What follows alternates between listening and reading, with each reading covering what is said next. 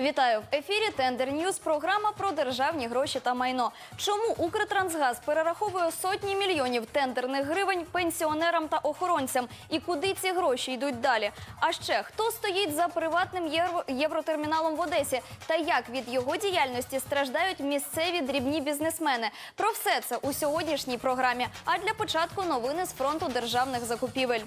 Днями українська команда Transparency International оприлюднила результати дослідження офіційних сайтів на предмет прозорості державних закупівель. Борці з корупцією виявили, що всі без винятку державні веб-портали не публікують навіть необхідний мінімум даних. За результатами громадського моніторингу складено рейтинг тендерної відкритості, а точніше закритості сайтів органів державної влади, діяльність яких має бути публічною. У вибірку громадського моніторингу увійшли сайти усіх міністерств. Усіх обласних державних адміністрацій, центральних органів виконавчої влади, а також офіційні сторінки 25 міст України та 26 держпідприємств, що оперували найбільшими обсягами, обсягами держзакупівель у 2012 році. Виявилося, що деякі підприємства, які беруть участь у тендерах на мільйони бюджетних коштів, взагалі не мають власних сайтів. Крім того, багато офіційних веб-сторінок навіть не мають розділ державні закупівлі чи конкурсні торги. Що таке Transparency International? Найбільша у світі мережа борців з корупцією має 100 національних осередків, відома своїми антикорупційними дослідженнями, зокрема щорічними звітами, які дозволяють дізнатися про рівень корупції в різних країнах світу.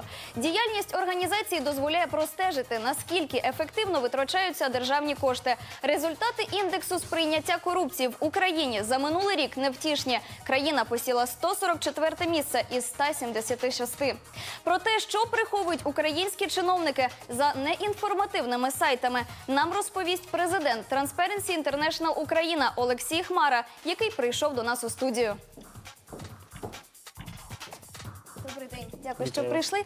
Скажіть, хто в Україні найбільший порушник і що він приховує? Ну, я знаєте, я сказав би загалом, органи влади є найбільшими порушниками. Як не дивно, краще за все інформацію про державні закупівлі оприлюднюють державні підприємства. А ви знаєте, згідно останніх змін, їх хочуть вивести, вже вивели фактично з під дії тендерного закону. Вони були найкращі, їх виводять.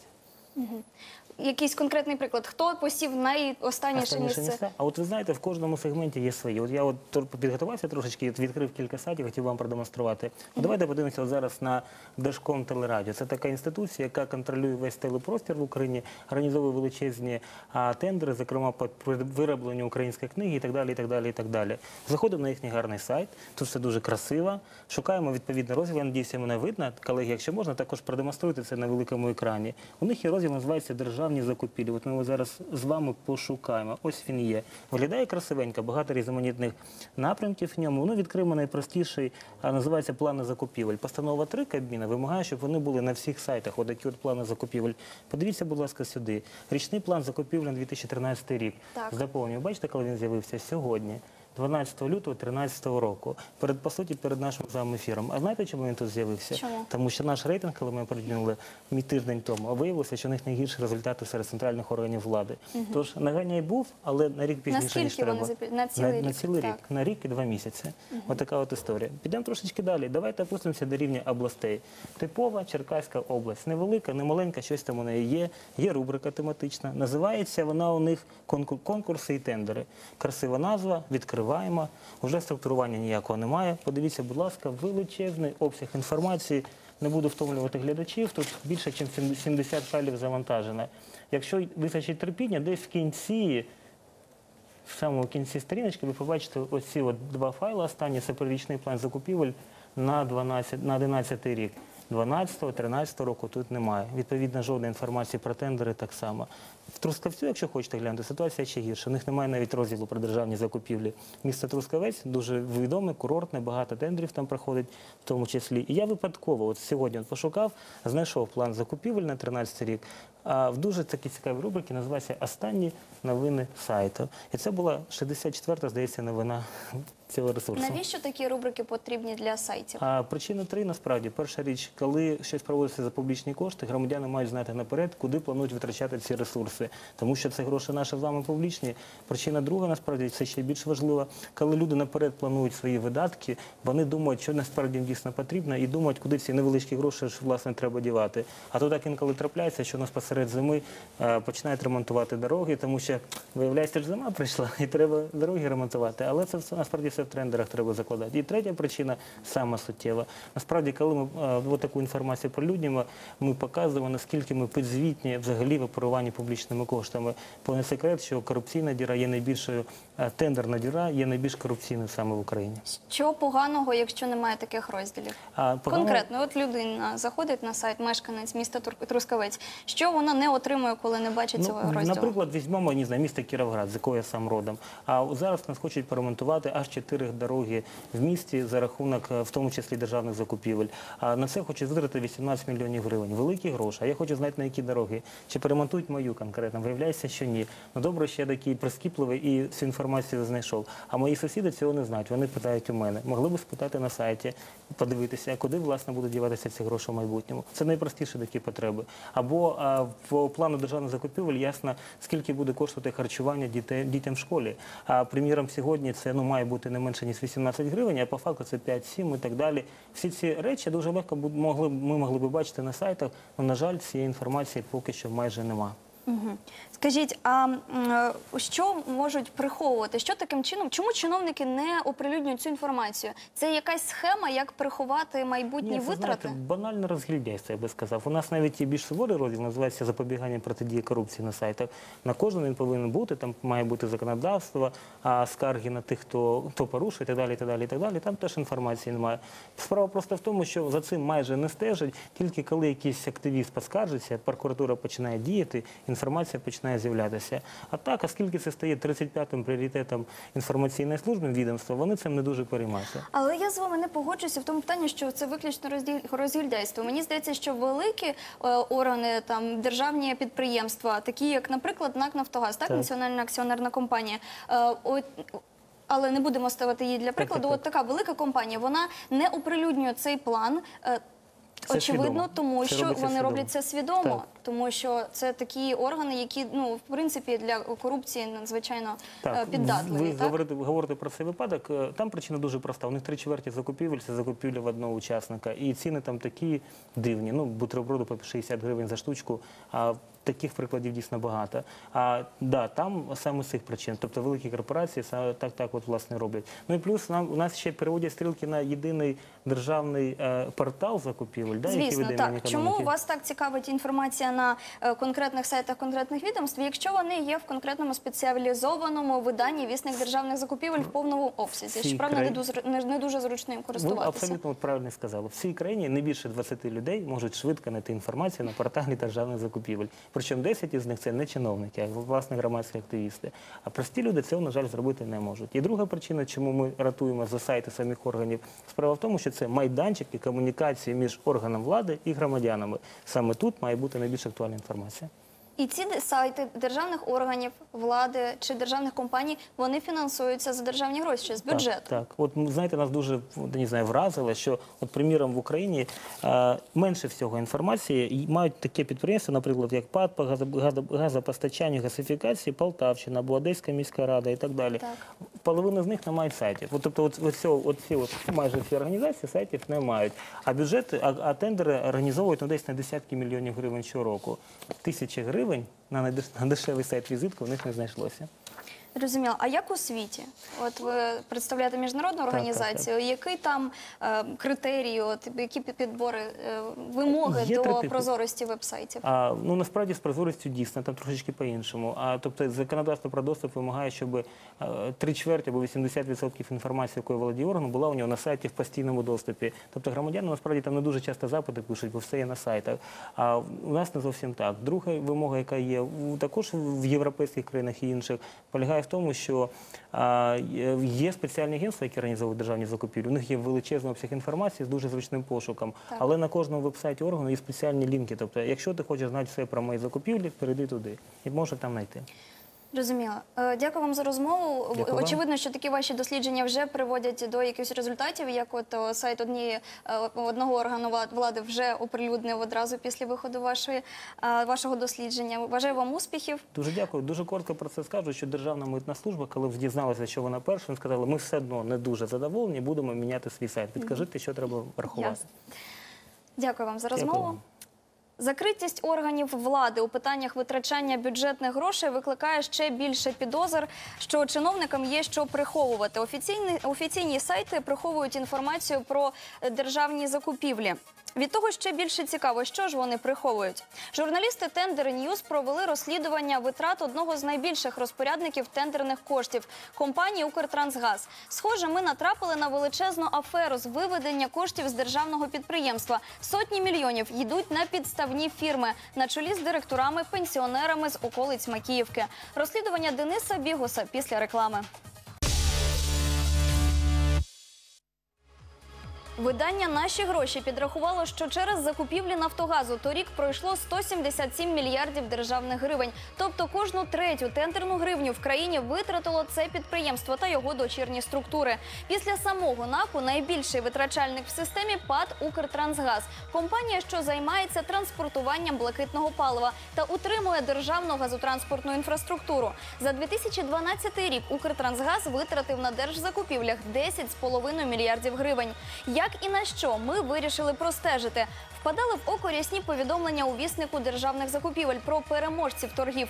При закупівлі обладнання газотранспортні чиновники постійно обирають одні ті самі донецькі фірми зі схожими назвами і невеликими статутними капіталами. Причому на тендери більше ніхто і не потикається, окрім цих трьох-чотирьох фірм, які щоразу виборюють сотні мільйонів тендерних гривень. Денис Бігус вирушив по маршруту державних мільйонів на схід у Донецьк. В ході свого розслідування, схоже, натрапив на масштабну оборудку із вимивання колосальних сум із держкомпаній через, через підставні фірми. Подивіться розслідування Дениса Бігуса. Ви пенсіонер з пенсією у тисячу гривень?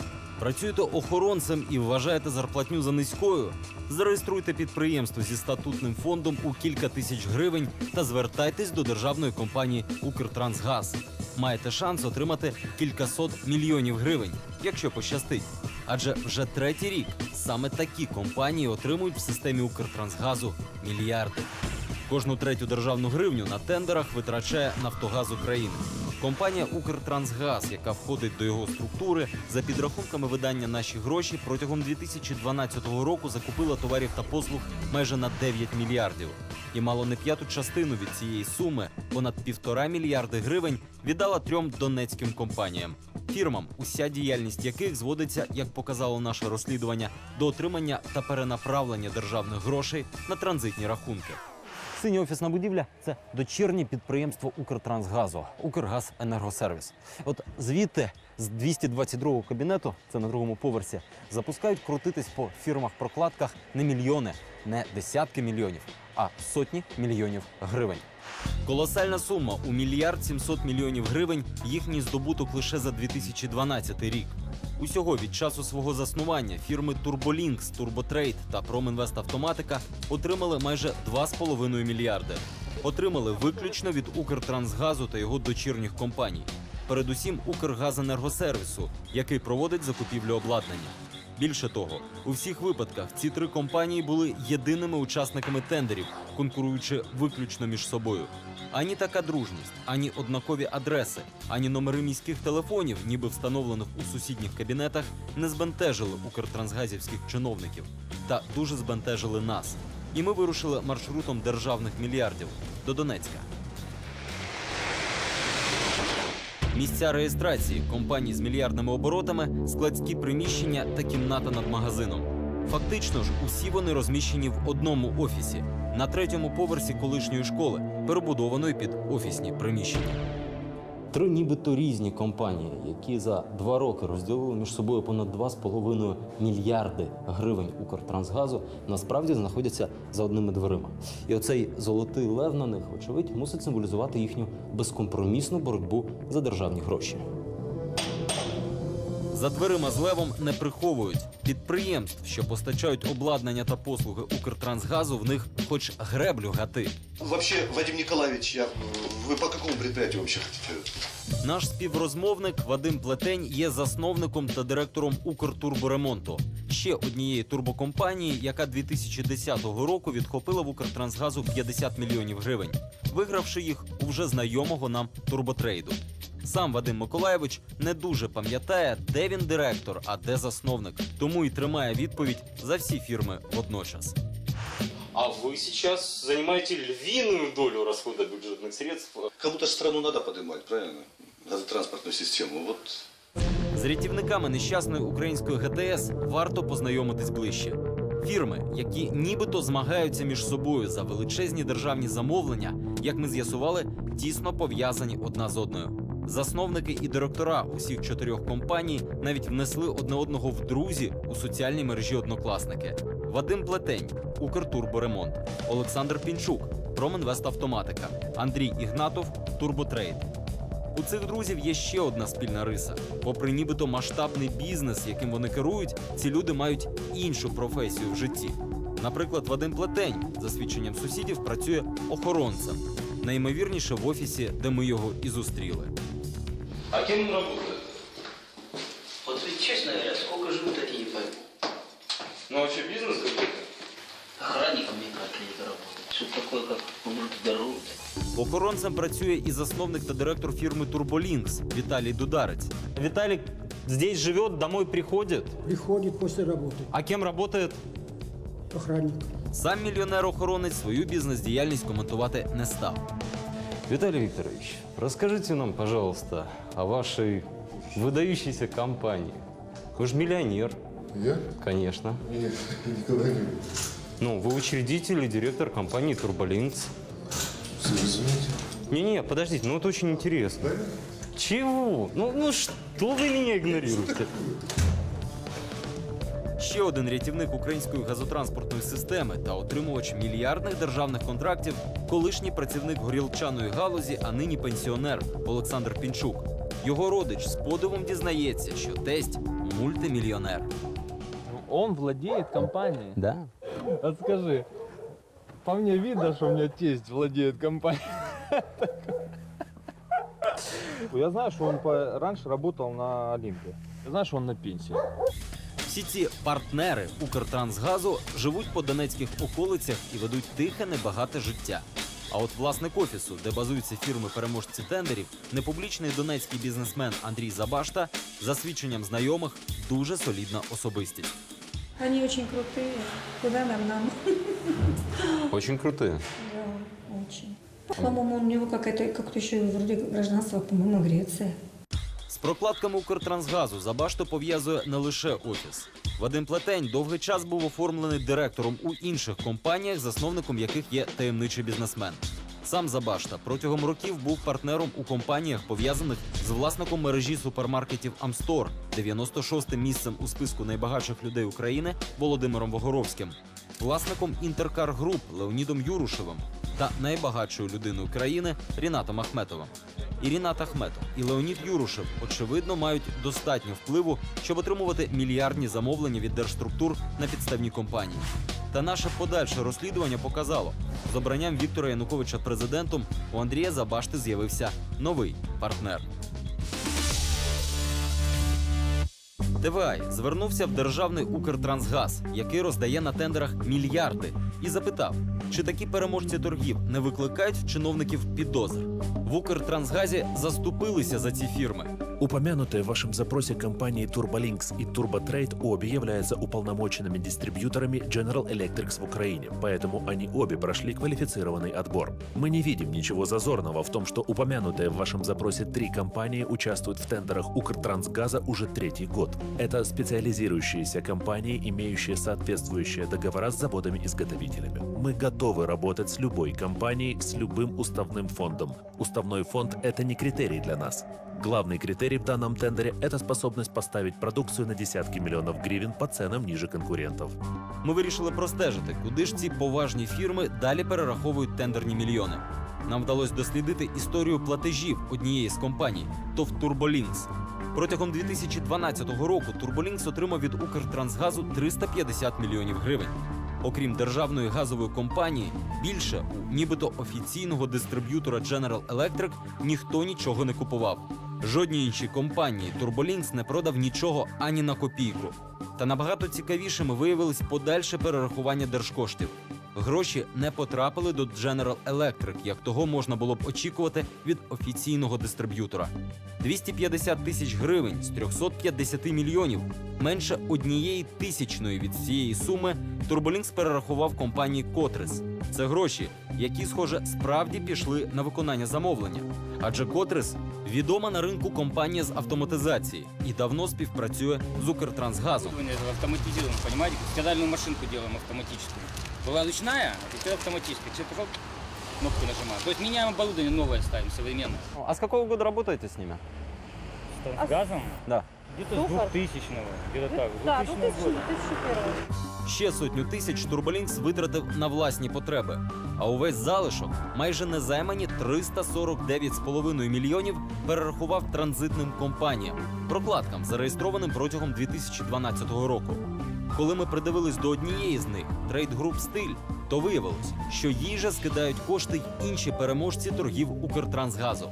Турботрейд у 2012 році надіслав сюди 250 мільйонів гривень. Промінвеставтоматика 65 мільйонів. Протягом року прокладка накопичувала кошти, щоб у грудні перерахувати їх далі на такі самі транзитні фірми.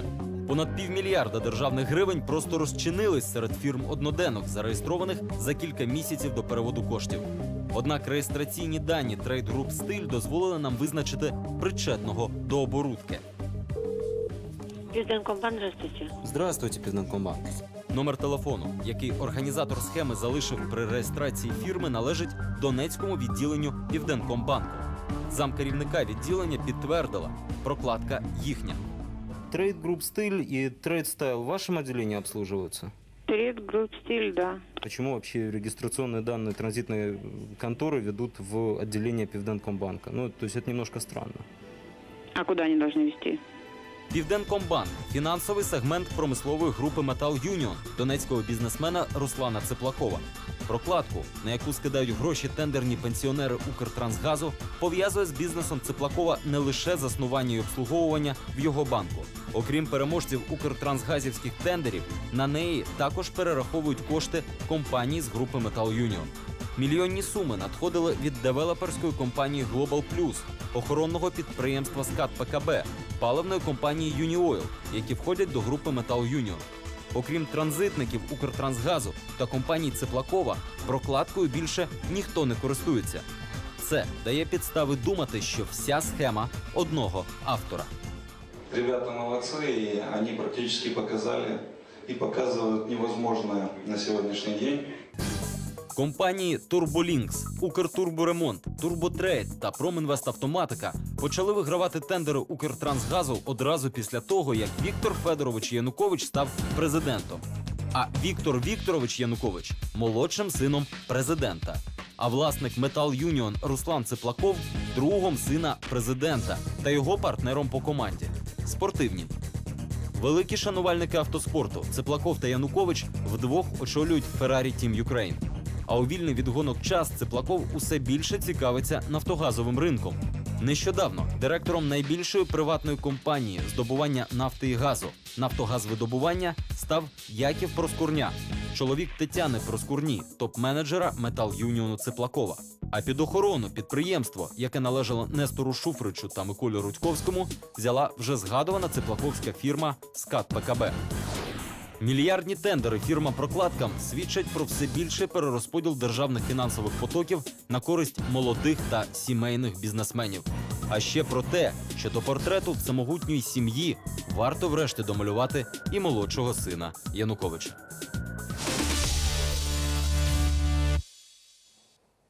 Ми розіслали запрошення на ефір усім згаданим у сюжеті підприємствам та особам. В Укртрансгазі своєю відповіддю фактично заступились за переможців торгів, заснованих пенсіонерами та охоронцями з околиць Макіївки. Але від інтерв'ю чиновники відмовились. Що ж дозволяє авторам оборудки почуватись так безкарно? Невже близькість до президентської родини? Якщо коротко сформулювати, то виходить, що на тендерах Укртрансгазу перемагають донецькі підставні фірми, що згодом перераховують 99% від отриманих державних грошей на транзитну компанію Одноденку, куди також надходять кошти з фірм Руслана Циплакова, друга Віктора Вікторовича Януковича. Давайте подивимось, що об'єднує цих двох людей, а також докладніше, хто такий Руслан Циплаков, ім'я якого ще не настільки відоме у політично-бізнесових колах, а схоже дарма.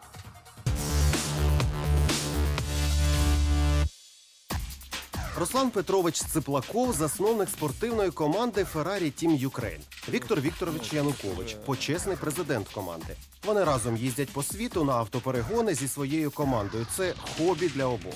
Мы все уверены, что Украина это самая лучшая страна в мире. И для того, чтобы это знали, знали не только мы, в принципе, и отсюда и появилась идея создать команду, которая бы состояла из украинских пилотов и отстаивала цвета нашего флага. Да, я показал сегодня красивую езду. Я так думаю, мы привезли много зрителей. Поэтому старался для них. Все-таки люди смотрят, много телевизоров, много людей. Надо их чем-то удивлять. Зусиллями своїх засновників Ferrari Team Ukraine стала першою і єдиною командою України в історії престижних європейських кільцевих перегонів Ferrari Challenge. І вже сьогодні входить у п'ятірку кращих у Європі. Українська інтеграція в елітний дивізіон світового автоспорту проходить за фінансової підтримки групи компаній Metal Union, заснованих Русланом Циплаковим та його братом Сергієм. Що ж собою являє бізнес-імперія товариша молодшого сина президента? ПАТ Метал Юніон це комерційний банк Південкомбанк, страхова компанія Гарантія, будівельна компанія Глобус Плюс, виробнича компанія Транстрейд, охоронна фірма Скат ПКБ, юридична фірма Лінія захисту та багато інших. Окрім того, у холдингу Руслана Циплакова низка компаній у гірничо-металургійній та нафтопереробній сфері. Торік бізнесмен розширився, придбав ще одну нафтогазовидобувну компанію Компліті Груп і ще одну фінустанову Терабанк.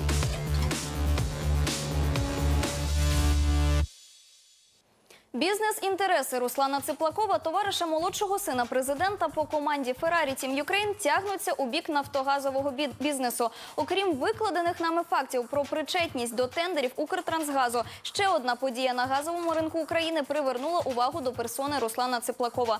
Це конфлікт навколо приватної фірми Нафтогазвидобування, яка за даними змі від моменту її створення порівну знаходилась у власності регіоналів Нестора Шуфрича та Миколи Рудьковського. Це велика компанія. Лише за 2011 рік принесла прибутків понад мільярд гривень. Ділити є що. Що ж трапилось і яку роль у гучному конфлікті зіграв герой нашої програми? Новий кадр в обоймі сім'ї президента Руслан Циплаков.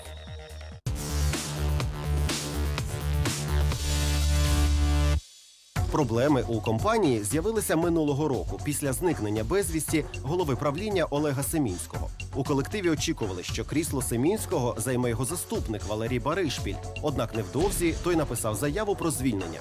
Компанію ж очолив Яків Проскурня. Це чоловік Тетяни Проскурні, члена правління групи компаній Metal Union, яка належить Циплакову. Після цього циплаковська охоронна фірма Скат ПКБ зайняла офіс нафтогазвидобування. Активну участь у житті найбільшої приватної нафтогазовидобувної компанії представники Циплакова пояснили так: мовляв, один із акціонерів компанії попросив їх про юридичну підтримку. З цього можна побудувати версію, що у двох регіоналів власників бізнесу виник між собою конфлікт, і один із них залучив підмогу на стороні. Однак проти цієї версії конфлікту між Шуфричем і Рудьковським говорить те, що незадовго до цього компанію позбавили ринку збуту і відібрали ліцензії. На жаль, обидва співвласники бізнесу через свою прес-службу відмовляються від будь-яких коментарів. Та деякі подробиці стали відомі депутату від Бют. Шуфрич на нараді в Кабміні зчинив реальний гвалт. Він звинуватив міністра енергетики і вугільної промисловості Едуарда Ставицького у незаконному призупиненні ліцензії нафтогазової компанії Нафтогазвидобування і здирництві 30% частки підприємства за поновлення ліцензії.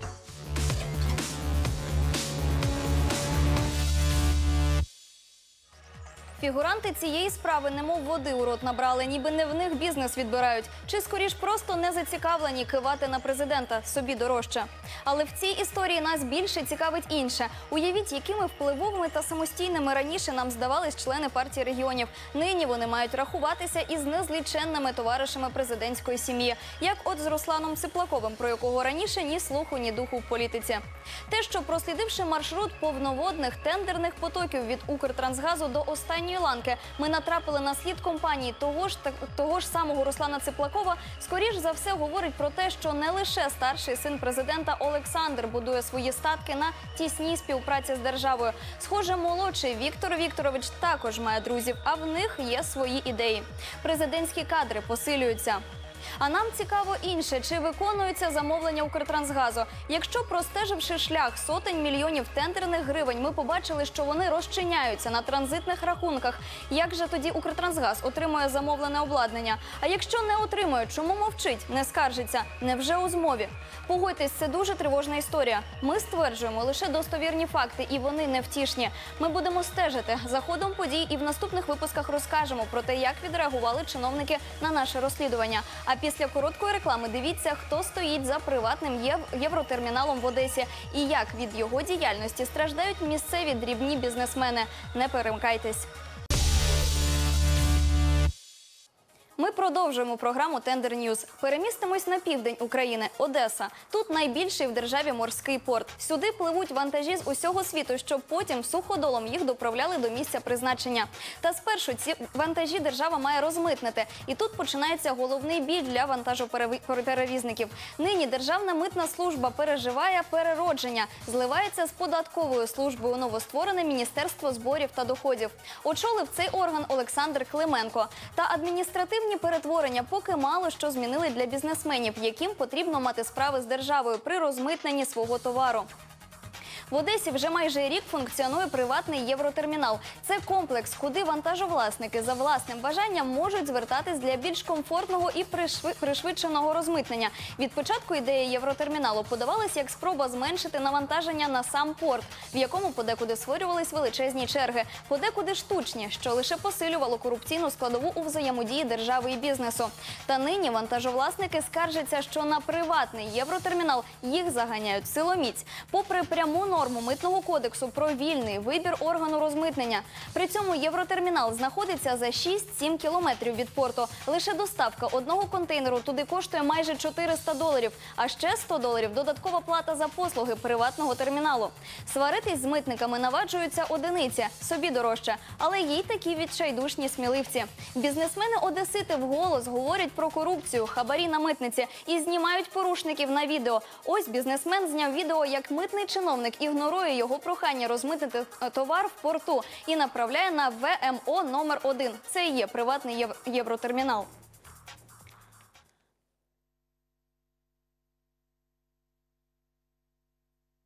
Таможенном кодексе, вот он у вас лежит, кстати, написано, что я могу оформляться а, в любом таможенном районе. Я хочу оформиться в пункте пропуска. Я не хочу вывозить товар с территории порта. Я хочу оформиться в пункте пропуска. У нас работает э, мытный пост Одесса. Подайте декларацию, и мы вас оформим в течение двух часов. Я надеюсь, что я на все На- вопросы ваши не ответил. на все. На какое ВМО мне подаваться? Я На подался на... номер один. ВМО номер один не находится на территории Одесса порт. Я хочу оформиться в пункте пропуска. Це було навесні, а з вересня, щоб не було зайвих питань, в одеському порту взагалі ліквідували функції розмитнення контейнерів. Тож приватний євротермінал нині єдина альтернатива в портовому місті. Кому ж так сприяють митні чиновники, спрямовуючи вантажопотік на розмитнення на приватний термінал? Хто власник цього по суті приватного посередника між державою та бізнесом? Цим питанням зайнялись журналісти-розслідувачі Анна Бабінець та Дмитро Гнап з агенції Слідство інфо. Своє розслідування вони провели за сприяння міжнародної організації OCCRP, що досліджує та звітує про організовану злочинність та корупцію у східній Європі.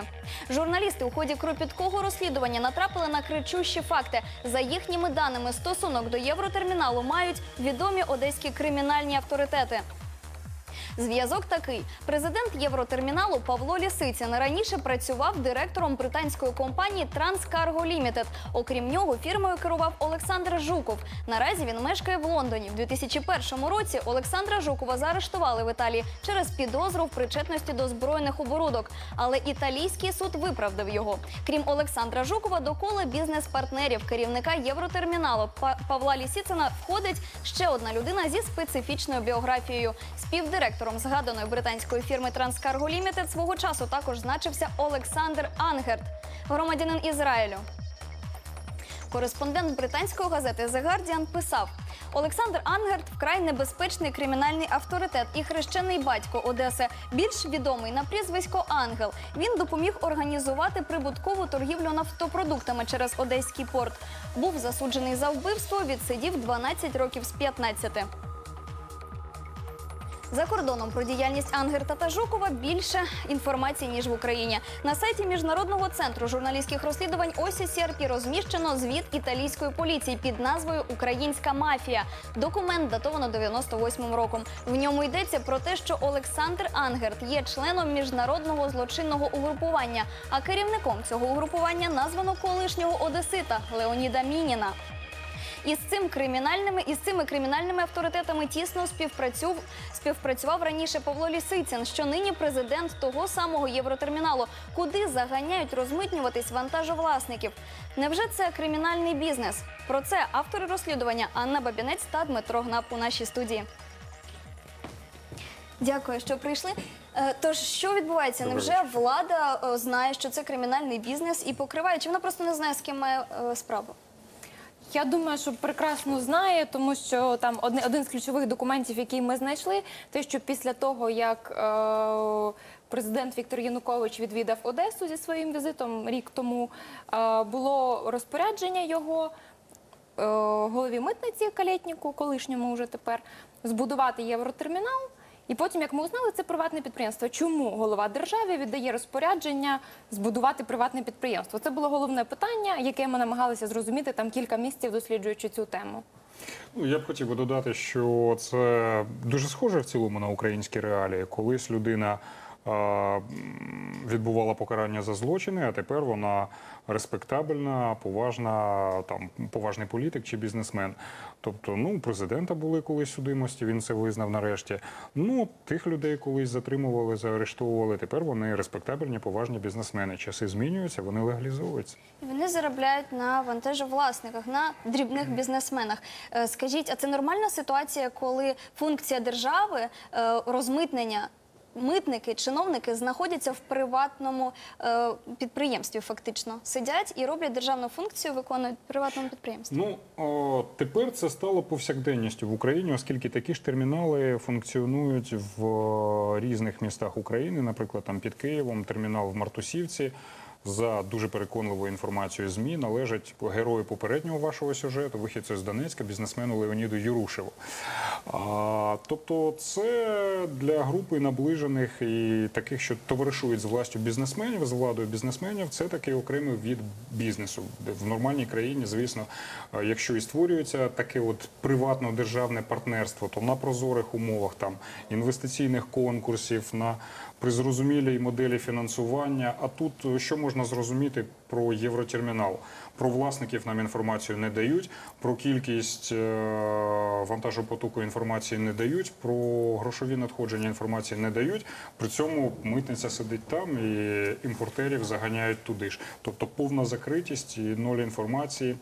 Вам допомагали в цьому розслідуванні. Сприяла міжнародна організація, яка звітує якраз про діяльність організованої злочинності і її представників. Що далі? У, у, людей, які вас підтримували в цьому, сприяли, у них є якийсь план? Тобто, це ну що далі робити, з, якщо це кримінальні авторитети? Ну, по ідеї, далі би цим розслідуванням мала зацікавитися наша генпрокуратура, наше СБУ. Але навіть в процесі роботи ми стикалися з тим, що коли я відправляла запити щодо судимості пана Ангерта, та які викладені в звіті, які ви демонстрували, які про які писали авторитетні журналісти, нам просто ні Державна пенітенціарна служба, ні СБУ, ні МВС не надсилали ніяких відповідей. Тобто вони мали б реагувати по фактах розслідування, але Зрозуміло. Ви довго проводили це розслідування, наскільки мені відомо, так? Півроку практично, більше навіть. Просто інформація така ну, надзвичайно видно, що вона глибока інформація. А от які перепони у вас були під, під час цього розслідування? Зокрема, мені цікаво, це ж кримінальні авторитети, це організована злочинність. Вам не було е, страшно, Аня, тобі? Е, Ну, страшно не було. Ми вдвох працювали. Були деякі проблеми. Я думаю, про них Діма детальніше розкаже. Ну, е, коли ми займалися цією темою, парадокс, але е, не колишні, це, до речі, не нинішні, да, ну а колишні все ж таки е, представники кримінального світу, будемо казати так точно, та, будемо точними, вони ж там колись були. Зараз уже ж це ж респектабельні бізнесмени. Вони особливого тиску на нас не чинили. Парадокс на нас чинила тиск влада, тобто, ну, зокрема, там в, в особі Державної митної служби, оскільки ми намагалися додатково отримати інформацію стосовно там діяльності голови е, Держмитслужби Ігоря Калєтніка і так далі. І тиск чинився шалений. Тобто, Як саме? Ну, ми отримували численні системні пропозиції не писати на цю тему, не займатися, не, не видавати, не, е, не видавати цей матеріал і так далі. Не тільки ми, а й партнери наші з міжнародного фонду ОССРП. Але розслідування побачило світ. Люди дізналися, хто. Очевидно, скоріш за все, стоїть за євротерміналом, оскільки так остання е, істина вона завжди прихована. Шила не сховаєш просто. Точно. Дякую вам, що ви прийшли. Дякую за ваш візит. Продовжуйте далі розслідування. Ви дивились програму Тендер News. Наступного вівторка ще більше історій про наші з вами гроші. Заходьте на наш сайт tvi.ua, а ще завантажуйте на свої смартфони мобільний додаток TVi і дивіться наші ефіри, читайте новини та блоги прямо з телефона. На все добре і до зустрічі.